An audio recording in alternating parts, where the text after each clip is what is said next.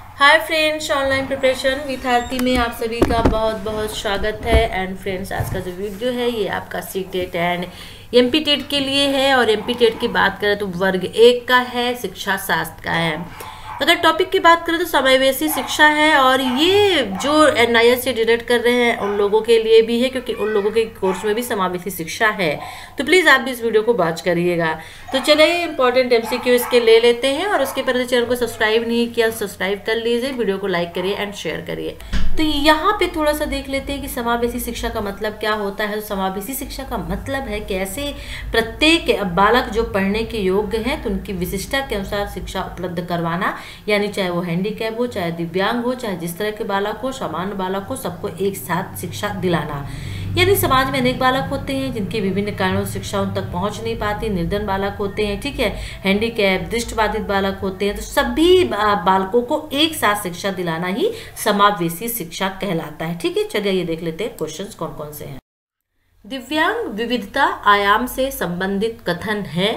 अब यहाँ पे आपको बताना है क्या चीज़ें दिव्यांग विविधता आयाम से संबंधित है, कौन सा राइट आंसर होगा?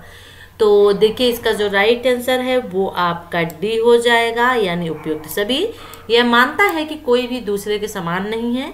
प्रत्येक व्यक्ति में कुछ विशिष्ट योजना होती है और दिव्यांगता सामाजिक विविधता का एक आयाम है। तो तीनों चीज़ें बिल्कुल राइट हो जाएँगी, दिव्यांग विविधता आयाम से, ठीक है? दिव्यांगता का सामाजिक प्रत्यय दिव्यांगता को किस रूप में देखता है? दिव्यांगता का सामाजिक जो प्रत्यय होता है, जो दिव्यांग व्यक्ति होते हैं, उनको किस रूप में वो देखता है? तो देखिए, इसका जो राइट आंसर है, वो आपका सी हो जाएगा। यानी दिव्यांगता मात्र जैविकी और सामाजिक दोनों घटकों की सम्मिलित परिणाम है। दिव्यांगता जो है तो जैविकी का मतलब होता है कि कुछ व्यक्ति जो होते हैं, वो जन्म से ही दिव्यांग होते हैं हैंडीकैप होते हैं, ठीक है ना? और जो कुछ व्यक्ति होते हैं, जन्म के बाद किसी दुर्घटना से, किसी चोट के लगने से, किसी रीजन किसी वजह से हैंडीकैप हो जाते हैं, दुर्घटनाग्रस्त होने की वजह से वो दिव्यांग हो जाते हैं। तो जैविकी और सामाजिक दोनों घटनों का सम्मिलित परिणाम होता है और इससे दोनों चीज़ों से जो व्यक्ति होता है, दिव्यांग हो जाता है। ठीक है? अगला क्वेश्चन देख लें। दिव्यांगता निम्न में से किसका परिणाम नहीं है? तो देखिए इसका जो राइट आंसर है, ये डी हो जाएगा। आपका पूर्व जन्म के कर्म का परिणाम दिव्यांगता नहीं है, बल्कि दिव्यांगता के कारण कौन कौन से हैं? तो युद्ध हिंसा से दिव्यांगता यानी कि हैंडीकैप होते हैं लोग। दुर्घटना से, जैविक विकृत से, चोट लगने से, किसी भी रीजन से जब बॉडी का एक पार्ट जो होता है, उनके साथ नहीं होता है, कट जाता है तो व्यक्ति दिव्यांग हो जाता है। तो दिव्यांगता के निम्न परिणाम में पूर्व जन्म के कर्म नहीं है, ठीक है? दिव्यांगता का एक प्रकार नहीं है। अब दिव्यांगता का एक प्रकार कौन सा नहीं है? देखिए, आर्थिक जो है दिव्यांगता का एक प्रकार नहीं है। यानी कि दिव्यांगता जो होती है, वो मानसिक भी देखी जाती है, शारीरिक भी देखी जाती है, सामाजिक भी देखी जाती है। मतलब दिव्यांगता में इस तरह के लोग होते हैं, लेकिन आर्थिक का दिव्यांगता से कोई मतलब नहीं है। तो दिव्यांगता का एक प्रकार आर्थिक नहीं है, बल्कि मानसिक, शारीरिक और सामाजिक जो है दिव्यांगता के प्रकार होते हैं, ओके? श्रवण बाधिता एवं बधिरांधता किस प्रकार की अक्षमताएँ हैं? श्रवण बाधिता एवं बधिरांधता किस प्रकार की अक्षमताएँ हैं? आपको बताना है तो इसका जो राइट आंसर है, वो हो जाएगा संवेदनात्मक अक्षमताएँ हैं श्रवण बाधिता और बधिरांता यानी शून्य देखने में जो इंसान श्रवण बाधिता बधिरांता यानी कि बहरापन जो एक होता है और एक श्रवण बाधिता सुनने में जो परेशानी लोगों को होती है, लोग जनरली बोलते हैं, वो समझ तो लेते हैं कि सामने वाला कुछ बोल रहा है, लेकिन क्या बोल रहा है वो समझ नहीं पाते हैं कुछ गलत समझ लेते हैं, सुन लेते हैं। तो ये होता है श्रवणवाद बधिरानता। तो ये संवेदनात्मक होती हैं। ओके तो राइट आंसर ए हो जाएगा। क्योंकि ये संवेदनात्मक का मतलब और संवेदना से जुड़ी होती है, मस्तिष्क से जुड़ी होती है। निम्न में से कौन सी दिव्यांगता संज्ञानात्मक है? कौन सी दिव्यांगता संज्ञानात्मक है? तो इसका जो राइट आंसर है वो सी हो जाएगा। स्वलीनता जो होता है, ये संज्ञानात्मक के अंतर्गत आता है। सेरेब्रल, पल्सी एवं लोकोमोटर किस प्रकार की दिव्यांगता है? सेरेब्रल, पल्सी एवं लोकोमोटोर किस प्रकार की दिव्यांगता है? ये मोटोर है सॉरी तो देखिए, इसका जो राइट आंसर है, वो हो जाएगा शारीरिक, यानी सेरेब्रल, पल्सी और लोकोमोटोर जो है, वो शारीरिक दिव्यांगता के अंतर्गत आता है। अगला क्वेश्चन देख लेते हैं, हमारा नेक्स्ट क्वेश्चन है कि बौद्धिक दिव्यांगता है, बौद्धिक दिव्यांगता क्या है? तो देखिए, बौद्धिक दिव्यांगता जो है संज्ञानात्मक दिव्यांगता के अंतर्गत आती है और हर बार हम आपको बताते हैं, संज्ञानात्मक का मतलब ही होता है मस्तिष्क से और बौद्धिक यानी बौद्ध, बुद्ध कहाँ होता है? बुद्ध हमारे मस्तिष्क को बोलते हैं, माइंड को तो संज्ञानात्मक के अंतर्गत आएगा। किसके अनुसार अधिगम विकृत का कारण शिक्षण में कमी है, जिसके तहत बच्चों को संज्ञानात्मक कार्यों में घटिया निर्देश दिए जाते हैं? किसके अनुसार जो अधिगम विकृत का कारण शिक्षण में कमी माना जाता है और बच्चों को संज्ञानात्मक कार्यों में घटिया निर्देश दिए जाते हैं? किसने कहा था कथन आपको बताना है? तो इसका राइट आंसर हो जाएगा। इंगेलमान जो है, उन्होंने कथन कहा था। नेक्स्ट क्वेश्चन, स्वालीनता का दोष संबंधित है। स्वालीनता का दोष किससे संबंधित है? तो इसका जो राइट आंसर की अगर हम बात करते हैं तो इसका राइट आंसर आपका डी हो जाएगा, यानी सभी है, और स्वालीनता का मतलब होता है जो दिमाग के समान विकास में बाधा पहुँचाए। ऑटिज्म स्पेक्ट्रम डिसऑर्डर यानी स्वालीनता ऑटिज्म ओके चलिए नेक्स्ट क्वेश्चन देख लेते हैं। अगला क्वेश्चन ले लेते हैं इसमें कि भारत में दिव्यांगता संबंधी प्रमुख मुद्दा है तो भारत में दिव्यांगता संबंधित प्रमुख मुद्दा क्या है? तो देखिए, इसका जो राइट आंसर होगा तो इसका राइट आंसर डी हो जाएगा, यानी कि जो आपका अवसंरचनात्मक है, भावात्मक है, परिवेशी समावेशन, ये सभी दिव्यांगता संबंधी प्रमुख मुद्दे भारत में होते हैं। अगला क्वेश्चन देख लेते हैं कि संविधान के किस अनुच्छेद में शिक्षा के मूल अधिकार दिया गया है। हमने हर बार कहा कि वेरी इंपॉर्टेंट क्वेश्चन आपके लिए है। तो राइट आंसर होगा 21 या तो का कह लीजिए या फिर 21 ए कह लीजिए। इंग्लिश में ए और हिंदी में आएगा तो का आएगा। तो इसका जो राइट आंसर है वो जाएगा 21 का या 21 ए में। संविधान के किस अनुच्छेद में समावेशी शिक्षा का अधिकार उल्लेखित है? समावेशी शिक्षा का अधिकार संविधान के किसमें उल्लेखित है? ये आपको बताना है तो राइट आंसर हो जाएगा। 46 में समावेशी शिक्षा का अधिकार उल्लेखित है। अगला क्वेश्चन ले लेते हैं कि किस संविधान संशोधन द्वारा 6 से 14 वर्ष के सभी बालकों के लिए निःशुल्क एवं अनिवार्य शिक्षा की व्यवस्था की गई है? तो ये तो हमने आपको बताया है, जो आपका छियासीवें संविधान संशोधन है, उसके द्वारा जो है, ये व्यवस्था की गई थी कि छः से चौदह वर्ष के सभी बालकों को निःशुल्क एवं अनिवार्य शिक्षा दी जाए। भारतीय संविधान के किस अनुच्छेद में अल्पसंख्यकों की शैक्षिक तथा सांस्कृतिक उन्नति की विशेष व्यवस्था है? अब भारतीय संविधान के किस अनुच्छेद में अल्पसंख्यकों की अल्पसंख्यकों की शैक्षिक एवं सांस्कृतिक उन्नति की विशेष व्यवस्था की गई है तो वो आपको बताना तो राइट आंसर अनुच्छेद तीस में की गई है। ओके अगला क्वेश्चन देख लेते हैं कि अनुच्छेद 29 के अनुच्छेद 29 के अंतर्गत किस अधिकार को शामिल किया गया है? तो देखिए, अनुच्छेद 29 के अंतर्गत जो है आपके समान शैक्षिक अधिकार को शामिल किया गया किसको शामिल किया गया है? समान शैक्षिक अधिकार को शामिल किया गया है। अगला क्वेश्चन देख लेते हैं कि किस अनुच्छेद के अंतर्गत कमज़ोर वर्गों, अनुसूचित जाति और जनजाति के शैक्षिक तथा आर्थिक उन्नति की व्यवस्था की गई है। किस अनुच्छेद के अंतर्गत कमज़ोर वर्गों, अनुसूचित जात और जनजाति के शैक्षिक तथा आर्थिक उन्नति की व्यवस्था की गई है? तो इसका जो राइट आंसर है, वो हो जाएगा अनुच्छेद 46 ओके अगला क्वेश्चन ले लेते हैं कि संविधान के किस अनुच्छेद में शिक्षा की व्यवस्था की गई है? अर्थात किसी विशेष धार्मिक शिक्षा का निषेध है। मतलब कि किस अनुच्छेद में शिक्षा की व्यवस्था की गई कि सभी शिक्षा सभी के लिए, यानी धर्म से इसको ना जोड़ा जाए?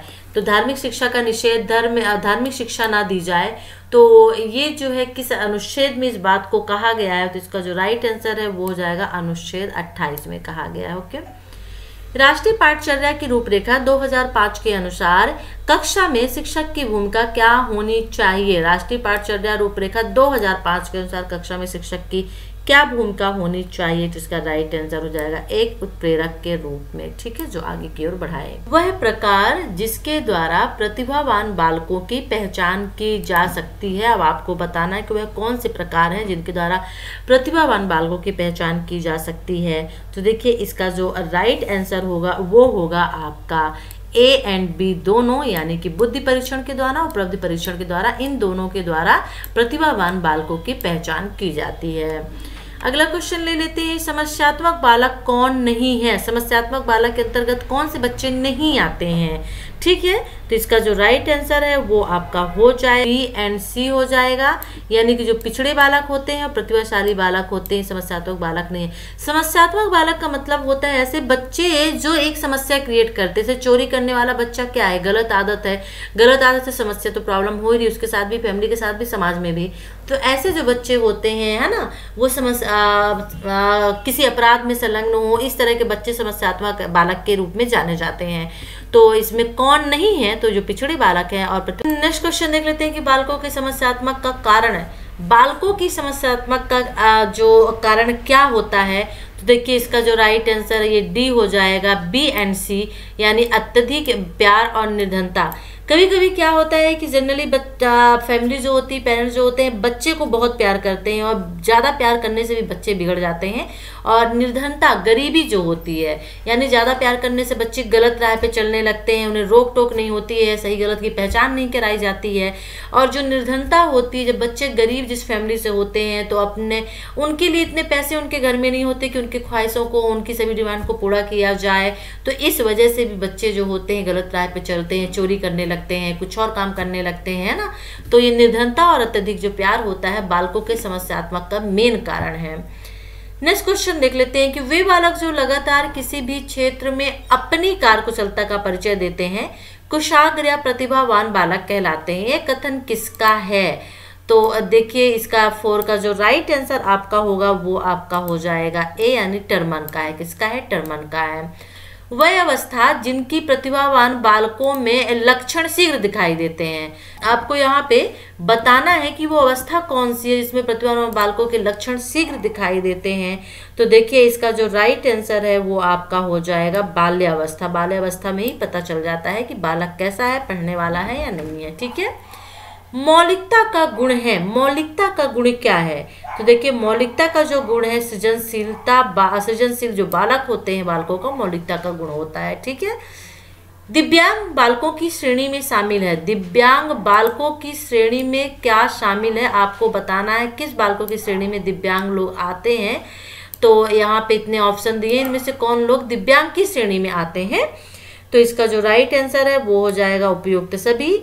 यानी कि जो नेत्रहीन बालक होते हैं, उनको भी दिव्यांग कहा जाता है। शारीरिक विकलांग बालक भी होते हैं गूँगे तबहरे बालक जो ये, इस तरह के लोग होते हैं, उनको दिव्यांग की श्रेणी में हैंडीकैप की श्रेणी में रखा जाता है।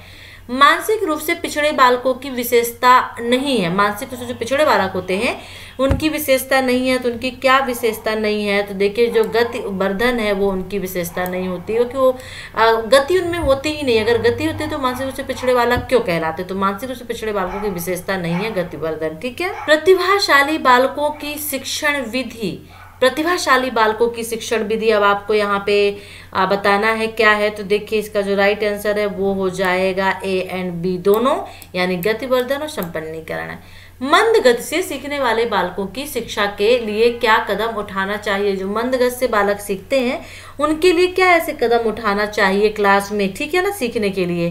तो इसका जो राइट आंसर है, वो हो जाएगा ए एंड बी दोनों, यानी कि आवासीय विद्यालय और विशेष विद्यालय, दोनों तरह के विद्यालय उनके लिए खोलने चाहिए मंद गति से सीखने वाले बालकों के लिए। पिछड़े बालकों के लिए कैसी शिक्षा व्यवस्था होनी चाहिए? पिछड़े बालकों के लिए कैसी शिक्षा व्यवस्था होनी चाहिए तो इसका जो राइट आंसर है, वो हो जाएगा मूर्त विषयों की शिक्षा व्यवस्था होनी चाहिए ताकि उनको एग्ज़ाम्पल के द्वारा समझाया जाए, वो समझ सके आराम से। किस प्रकार के बालक अस्वस्थ एवं असमायोजित व्यवहार करते हैं? अब ऐसे बालक किस कैटेगरी में आते हैं जो अस्वस्थ होते हैं और असमायोजित व्यवहार करते हैं?